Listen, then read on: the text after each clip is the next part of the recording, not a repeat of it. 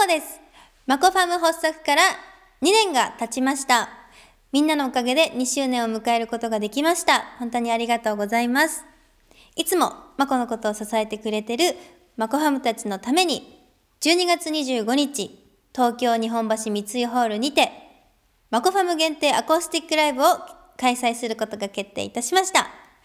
えーみんな、今年のクリスマスは、ぜひマコと一緒に過ごしてください。そして、3年目に突入するマコファムも今後ともぜひぜひよろしくお願いいたします。マコでした。